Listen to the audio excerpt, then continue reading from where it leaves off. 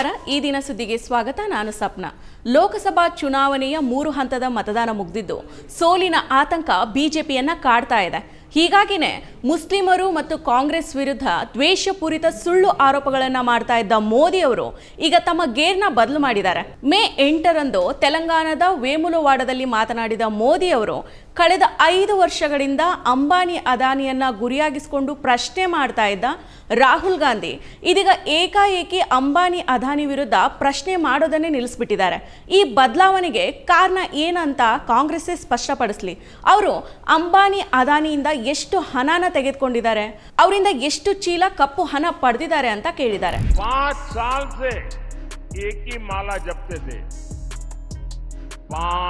ಉದ್ಯೋಗಪತಿ पाँच उद्योगपति पाँच उद्योगपति। फिर धीरे धीरे कहने लगे, अंबानी, अडानी अंबानी अडानी अंबानी, अडानी। पाँच साल से, लेकिन जब से चुनाव घोषित हुआ है, इन्होंने अंबानी, अडानी को गाली देना बंद कर दिया। मैं आज तेलंगाना की धरती से पूछना चाहता हूं जरा ये शाहजादे घोषित करें इस चुनाव में ये अंबानी अडानी से कितना माल उठाया है ಆದ್ರೆ ಸತ್ಯ ಏನಂದ್ರೆ ಮೋದಿ ಅವರು ಹೇಳ್ತಾ ಇರೋದು ಸುಳ್ಳು. ಚುನಾವಣೆ ಘೋಷಣೆಯಾದಾಗಿನಿಂದ ಕಾಂಗ್ರೆಸ್ ನಾಯಕ ರಾಹುಲ್ ಗಾಂಧಿ ಮತ್ತು ಖರ್ಗೆ ಅವರು ಅದಾನಿ ಅಂಬಾನಿ ಬಗ್ಗೆ ಮಾತನಾಡೋದನ್ನ ನಿಲ್ಲಿಸಿದಾರಾ ಖಂಡಿತ ಇಲ್ಲ. ಅವರು ನಿರಂತರವಾಗಿ ಮಾತನಾಡ್ತಾನೆ ಇದ್ದಾರೆ ಚುನಾವಣೆ ಘೋಷಣೆಯಾದ ಬಳಿಕನೂ ರಾಹುಲ್ ಮತ್ತು ಖರ್ಗೆ ಹಲವಾರು ಚುನಾವಣಾ ರ್ಯಾಲಿಗಳಲ್ಲಿ ಅಂಬಾನಿ, ಅದಾನಿ ಮತ್ತು ಮೋದಿ ಸ್ನೇಹದ ಬಗ್ಗೆ ಮಾತಾಡಿದ್ದಾರೆ. ಏಪ್ರಿಲ್ ಇಪ್ಪತ್ನಾಲ್ಕರಂದು ಚುನಾವಣಾ ಪ್ರಚಾರದಲ್ಲಿ ಮಾತನಾಡಿದ ಮಲ್ಲಿಕಾರ್ಜುನ್ ಖರ್ಗೆ, ಈ ದೇಶದಲ್ಲಿ ಏನಾಗ್ತಾ ಇದೆ ಅಂದರೆ ಇಬ್ಬರು ಮಾರಾಟಗಾರರು ಇಬ್ಬರು ಖರೀದಿದಾರರು ಇದ್ದಾರೆ. ಮಾರಾಟಗಾರರು ಮೋದಿ ಮತ್ತು ಅಮಿತ್ ಶಾ ಹಾಗೂ ಖರೀದಿದಾರರು ಅಂಬಾನಿ ಮತ್ತು ಅದಾನಿ ಅಂತ ಹೇಳಿದ್ದಾರೆ. ಅಲ್ಲದೆ ಏಪ್ರಿಲ್ ಹನ್ನೆರಡರಂದು ಕೊಯಮತ್ತೂರಿನಲ್ಲಿ ನಡೆದ ಚುನಾವಣಾ ರ್ಯಾಲಿಯಲ್ಲಿ ಮಾತನಾಡಿದ ರಾಹುಲ್ ಗಾಂಧಿ, ನರೇಂದ್ರ ಮೋದಿ ಮತ್ತು ಅದಾನಿ ನೀತಿಗಳು ಎರಡು ರೀತಿಯ ಭಾರತವನ್ನು ಸೃಷ್ಟಿ ಮಾಡಿದಾವೆ. ಒಂದು ಕೋಟ್ಯಾಧಿಪತಿಗಳ ಭಾರತ ಆದರೆ ಇನ್ನೊಂದು ಬಡವರ ಭಾರತ ಅಂತ ವಾಗ್ದಾಳಿ ನಡೆಸಿದರು. ಜೊತೆಗೆ ರಾಹುಲ್ ಗಾಂಧಿಯವರು ನಡೆಸಿದ ಭಾರತ್ ಜೋಡೋ ನ್ಯಾಯ ಯಾತ್ರೆಯ ಸಮಯದಲ್ಲಿ ಈ ಇಬ್ಬರು ಬಿಲಿಯನಿಯರ್ಗಳ ಬಗ್ಗೆ ಹಾಗೂ ಬೆಳೀತಾ ಇರೋ ಅವರ ಸಂಪತ್ತಿನ ಬಗ್ಗೆ ಹಲವಾರು ಬಾರಿ ಪ್ರಸ್ತಾಪ ಮಾಡಿದ್ರು. ಆದರೆ ಅವುಗಳನ್ನೆಲ್ಲ ಬದಿಗೆ ಸರಿಸಿರೋ ಮೋದಿ ಅವರು, ಅದಾನಿ ಅಂಬಾನಿ ಬಗ್ಗೆ ಕಾಂಗ್ರೆಸ್ ಮಾತನಾಡ್ತಾ ಇಲ್ಲ ಅಂತ ಹೇಳಿದ್ದಾರೆ. ಅದಾಗಿ ಅವರು ಹೇಳಿದ್ದು ಸರಿನೇ. ಚುನಾವಣೆ ಸಮಯದಲ್ಲಿ ಅಂಬಾನಿ, ಅದಾನಿ ಮತ್ತು ಮೋದಿ ಸ್ನೇಹದ ಬಗ್ಗೆ ಹೆಚ್ಚಾಗಿ ಮಾತನಾಡಲೇಬೇಕು. ಮುಂದಿನ ಸರ್ಕಾರದ ಆಯ್ಕೆಗಾಗಿ ಮತ ಚಲಾಯಿಸುವಾಗ ಭಾರತದ ಜನರು ಅಂಬಾನಿ, ಅದಾನಿ ವಿಚಾರವನ್ನು ಗಂಭೀರವಾಗಿ ಪರಿಗಣಿಸಬೇಕು.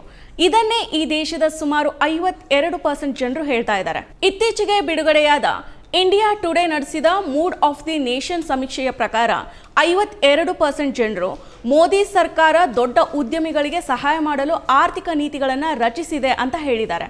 ಆ ದೊಡ್ಡ ಉದ್ಯಮಿಗಳಲ್ಲಿ ಹೆಚ್ಚಿನ ಲಾಭ ಪಡಿತಾ ಇರೋರು ಈ ಅಂಬಾನಿ, ಅದಾನಿಗಳೇ ಅನ್ನೋದು ಸ್ಪಷ್ಟ. ಮುಂದಿನ ಚುನಾವಣಾ ರ್ಯಾಲಿಗಳಲ್ಲಿ ಕಾಂಗ್ರೆಸ್ ಮತ್ತು ಇತರ ವಿಪಕ್ಷಗಳು ಕೂಡ ಅಂಬಾನಿ, ಅದಾನಿ ಬಗ್ಗೆ ಹೆಚ್ಚು ಮಾತಾಡಬೇಕು. ಅಂದಹಾಗೆ ಮೋದಿ ಅವರು ಅಂಬಾನಿ, ಅದಾನಿ ವಿರುದ್ಧ ಮಾತನಾಡಿದ್ರೆ ಅದಕ್ಕಿಂತ ಉತ್ತಮ ಬೆಳವಣಿಗೆ ಮತ್ತೊಂದಿಲ್ಲ.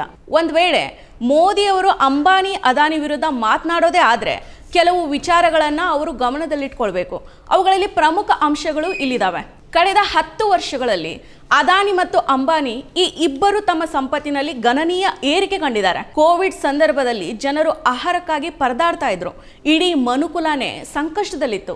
ಆರ್ಥಿಕತೆ ಸ್ಥಗಿತಗೊಂಡು ಲಕ್ಷಾಂತರ ಭಾರತೀಯರು ಆದಾಯ ಇಲ್ಲದೇನೆ ಹೆಣಗಾಡ್ತಾ ಇದ್ರು. ಆದರೆ ಅಂತಹ ಸಂದರ್ಭದಲ್ಲೂ ಕೂಡ ಅಂಬಾನಿ ಮತ್ತು ಅದಾನಿಗಳ ಆದಾಯ ಮಾತ್ರ ಏರಿಕೆನೇ ಆಗ್ತಾ ಇತ್ತು. ಕೊರೋನಾ ಸಮಯದಲ್ಲಿ ಅಂಬಾನಿ ಏಷ್ಯಾದ ಅತ್ಯಂತ ಶ್ರೀಮಂತ ವ್ಯಕ್ತಿಯಾಗಿದ್ದರೆ ಅದಾನಿ ನಂತರದ ಸ್ಥಾನದಲ್ಲಿದ್ದರು ವಿಶ್ವದ ಅಗ್ರ ಹದಿನೈದು ಶ್ರೀಮಂತ ವ್ಯಕ್ತಿಗಳಲ್ಲಿ ಈ ಇಬ್ಬರ ಹೆಸರು ಇದ್ದಾವೆ ಒಟ್ಟಾರೆಯಾಗಿ ಭಾರತದ ಆರ್ಥಿಕತೆ ದಾಖಲೆಯ ಪ್ರಮಾಣದಲ್ಲಿ ಕಡಿಮೆ ಆಯಿತು.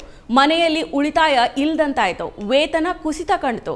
ಪ್ರಮುಖವಾಗಿ ದೇಶ ನಲವತ್ತೈದು ವರ್ಷಗಳಲ್ಲಿಯೇ ಹೆಚ್ಚು ನಿರುದ್ಯೋಗಕ್ಕೆ ತುತ್ತಾಯಿತು. ಆದರೂ ಅಂಬಾನಿ ಅದಾನಿಗಳ ಆದಾಯ ಗಣನೀಯವಾಗಿ ಏರಿಕೆಯಾಗಿತ್ತು. US short seller Hindenburg research ತನ್ನ ವರದಿಯಲ್ಲಿ ಬಿಡುಗಡೆ ಮಾಡಿದ್ದು. ಅದಾನಿ ಗ್ರೂಪ್ ವಿರುದ್ಧ ಸ್ಟಾಕ್ ಮ್ಯಾನಿಫ್ಯುಲೇಷನ್ ಮತ್ತು ಅಕೌಂಟೆಂಟ್ ವಂಚನೆಯ ಆರೋಪ ಮಾಡಿದೆ. ಈ ಆರೋಪ ಕೇಳಿಬಂದು ಹದಿನೈದು ತಿಂಗಳಾಗಿದ್ದಾವೆ ಭಾರತದಲ್ಲಿ securities and exchange board of India ಅಂದರೆ ಸೆಬಿ, ಈ ಪ್ರಕರಣವನ್ನು ತನಿಖೆ ಮಾಡುವ ಜವಾಬ್ದಾರಿ ಹೊತ್ತಿದೆ. ಈ ಪ್ರಕರಣವನ್ನು ಜಂಟಿ ಸಂಸದೀಯ ಸಮಿತಿ ತನಿಖೆ ನಡೆಸಬೇಕು ಅಂತ ವಿರೋಧ ಪಕ್ಷದ ಒತ್ತಾಯಕ್ಕೆ ಮೋದಿ ಸರ್ಕಾರ ಒಪ್ಪಲಿಲ್ಲ ಹಿಂಡೆನ್ಬರ್ಗ್ ವರದಿಯ ಬಳಿಕ ಹಲವಾರು ಹಣಕಾಸು ಪತ್ರಕರ್ತರು, ಅದಾನಿ ಗ್ರೂಪ್ ವಂಚನೆಯ ಬಗ್ಗೆ ಹೆಚ್ಚಿನ ಪುರಾವೆಗಳನ್ನು ಬಹಿರಂಗಪಡಿಸಿದ್ದಾರೆ. ಅಕ್ರಮಗಳು ನಡೆದಿವೆ ಅಂತ ಸೇಬಿ ದೃಢಪಡಿಸಿದೆ. ಆದರೂ ಸಹ ಅದಾನಿ ಗ್ರೂಪ್ ಮೇಲೆ ಇದುವರೆಗೆ ಯಾವುದೇ ರೀತಿಯ ಕ್ರಮ ತೆಗೆದುಕೊಂಡಿಲ್ಲ.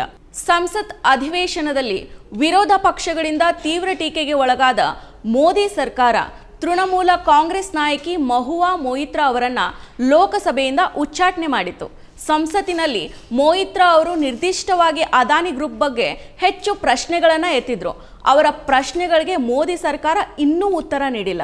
ಅದಾನಿ ಗ್ರೂಪನ್ನು ಉಲ್ಲೇಖಿಸಿ ಸಂಸತ್ನಲ್ಲಿ ಹಲವಾರು ಬಾರಿ ಪ್ರಶ್ನೆಗಳನ್ನು ಎತ್ತಿದ್ದಕ್ಕೆ ರಾಹುಲ್ ಗಾಂಧಿ ಅವರನ್ನು ಮೋದಿ ಉಪನಾಮದಲ್ಲಿ ಮಾನನಷ್ಟ ಮೊಕದ್ದಮೆಯ ನೆಪವೊಡ್ಡಿ ಸಂಸತ್ತಿನಿಂದ ಅನರ್ಹ ಮಾಡಲಾಗಿತ್ತು. ಫ್ರಾನ್ಸ್ ಸಹಯೋಗದಲ್ಲಿ ಭಾರತದ ಎಚ್ಎಎಲ್ ರಫೇಲ್ ಯುದ್ಧ ವಿಮಾನ ತಯಾರಿಸೋದಕ್ಕೆ ಯುಪಿಎ ಸರ್ಕಾರ ಮಾಡಿಕೊಂಡಿದ್ದ ರಫೇಲ್ ಒಪ್ಪಂದವನ್ನು ಮೋದಿ ಸರ್ಕಾರ ಮರು ಒಪ್ಪಂದ ಮಾಡಿಕೊಂಡಿತು. ಅದನ್ನು ಎಚ್ ಎ ಎಲ್ನಿಂದ ಕಸಿಕೊಂಡು ಅದಾನಿಗೆ ನೀಡಿತು. ಆ ಮೂಲಕ ಸಾವಿರಾರು ಕೋಟಿ ರೂಪಾಯಿ ಲಾಭವನ್ನು ಅದಾನಿಗೆ ಮಾಡಿಕೊಟ್ಟಿತ್ತು. ಕೊರೋನಾದಂತಹ ಸಮಯದಲ್ಲೂ ಕೂಡ, ಇಂತಹ ಕಷ್ಟದ ಸಮಯದಲ್ಲಿ ಅದಾನಿ ಮತ್ತು ಅಂಬಾನಿ ಪ್ರಥಮ ಸ್ಥಾನಕ್ಕೆ ಹೇಗೆ ಬೆಳೆದ್ರು? ಯಾಕಂದ್ರೆ ತನ್ನ ಅಧಿಕಾರದ ಅವಧಿಯಲ್ಲಿ ಮೋದಿ ಸರ್ಕಾರ ಹಲವಾರು ನೀತಿಗಳನ್ನು ರೂಪಿಸಿದೆ.